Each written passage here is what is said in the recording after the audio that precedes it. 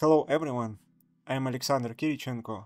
In this video, we'll discuss aligning objects in Modeler using alignment handles and the Quick Pivot tool.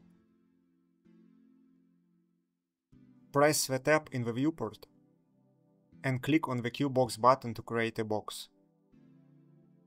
Next, let's add a bevel to one of its edges. Press 3 to activate Edge Component Selection. Then select an edge. Press Tab and at the modeling section choose Bevel. Hold and drag to adjust the beveling distance. Next, let's add a tube on top of the box. Press 4 to activate primitive selection. Select polyprimitive on top, press and hold S to call the Modeler's context menu, and choose QTube at the bottom of the list. The tube will appear in the middle of the selection. Hold Shift and drag the red handles of the X and Y axis to make the tube wider and higher. Then let's learn how to align the tube to the different components of the box. Press semicolon on the keyboard to switch to alignment state. Hover the cursor to any component of another geometry.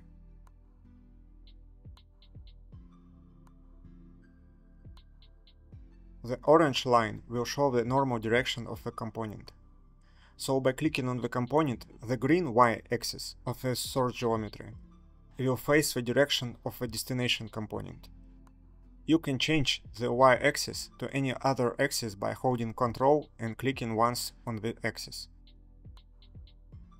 The new up axis will turn from a box into an arrow.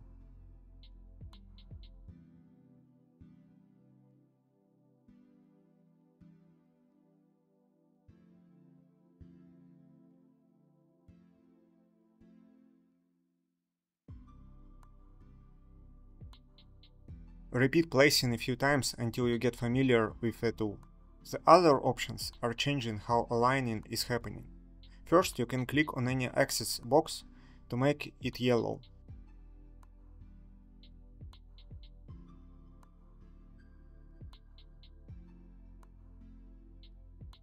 That will tell the alignment state that you only want to rotate the object, and parallel the yellow and destination axis.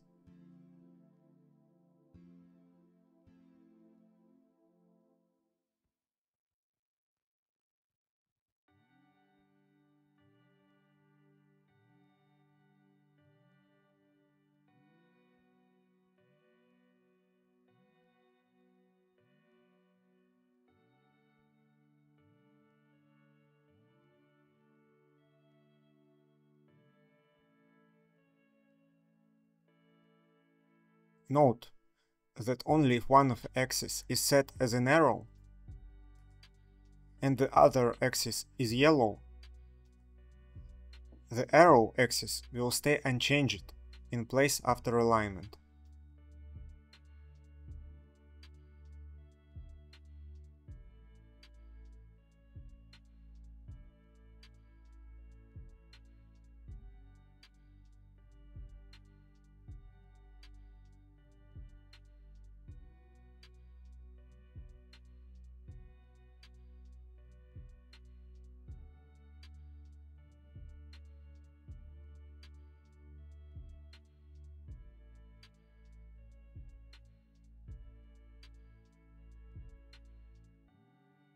Second, you can do rotation only, but this time without a yellow box. Just rotate and parallel the up axis and destination axis by holding shift and clicking.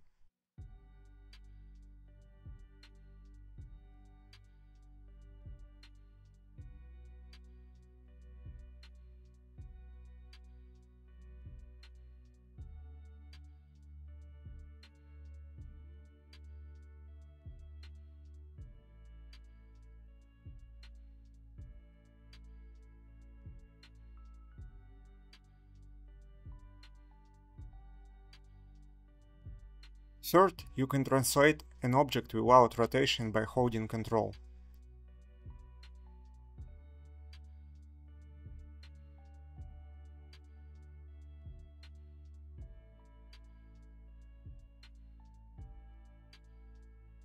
Fourth, you can make the up axis to point to or look at the direction of the destination axis by holding Ctrl plus Shift.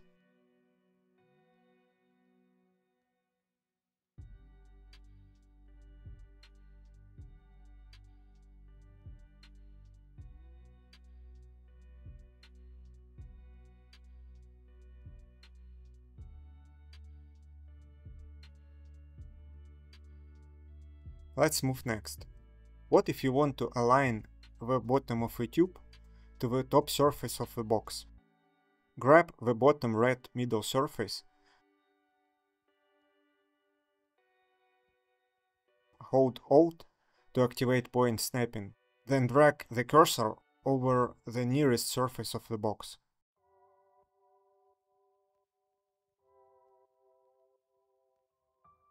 Let's undo those changes by pressing Ctrl plus Z a few times and proceed with the second method.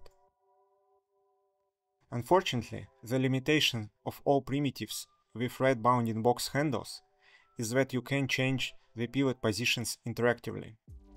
That's why we need to create an edit node. Press Escape to select all poly primitives. Press T to activate the Move tool now we can edit the pivot transformations. I want to place the pivot at the bottom of a tube. Hold D to activate Quick Pivot tool. Quick Pivot in the modeler works the same as alignment state, except it aligns the pivot rather than the object itself. Hold D again and click on the Y-axis and drag it to the nearest bottom point of the tube. Now you can release D.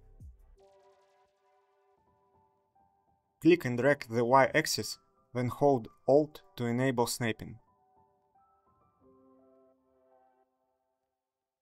And hover the cursor over one of the top surface points. You can now proceed with tube placement in the alignment state.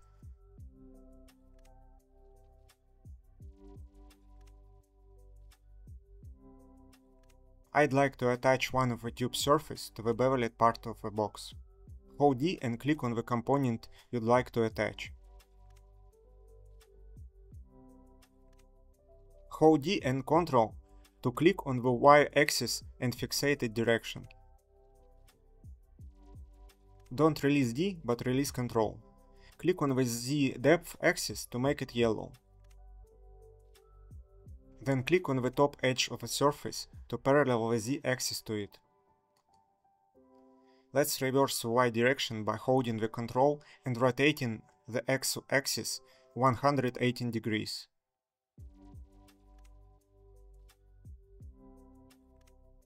Let's remove all modifiers.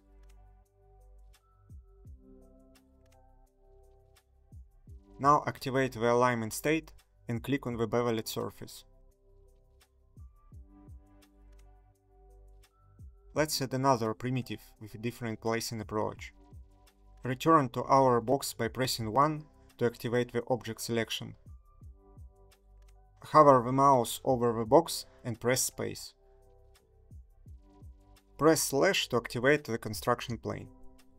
Note that the construction plane's handle faces the z direction instead of a y, and the x and y axis lie along the plane surface, similar to how we draw a graph on paper. Click on any primitive to snap the grid. This method is excellent for applying curves on surfaces. Let's align view to the construction plane and draw a curve. Press Tab, Align View to. The construction plane y-axis direction will be up for the camera alignment.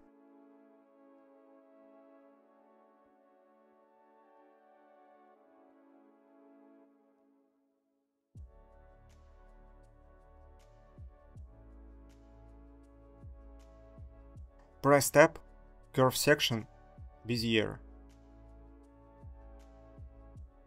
and click on the construction plane. Activate the grid snapping tool in the toolbox panel. Press W to turn off the surface shading.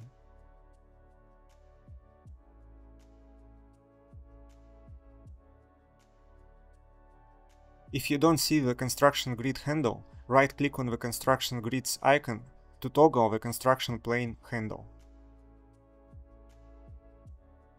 Adjust the construction plane position.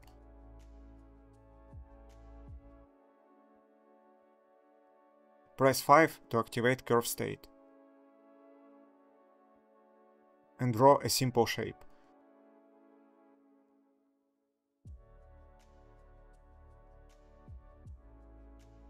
Press escape to finish drawing and disable grid snapping. Press space and H to home view. Disable the construction plane. Let's apply thickness to the plane. Press tab, go to the modeling section and press thickness. Hold and drag the cursor to adjust the thickness.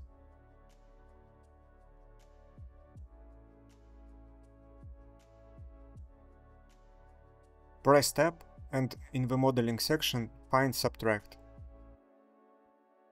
and click on the box to apply the boolean operation.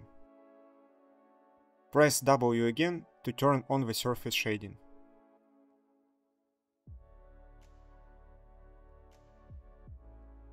In this tutorial, we mostly talked about the alignment state, which is very important to learn because you can enable and use the alignment state across multiple tools in Houdini. Next time, we'll discuss Houdini's coordinates, transformations, and pivot positioning more deeply.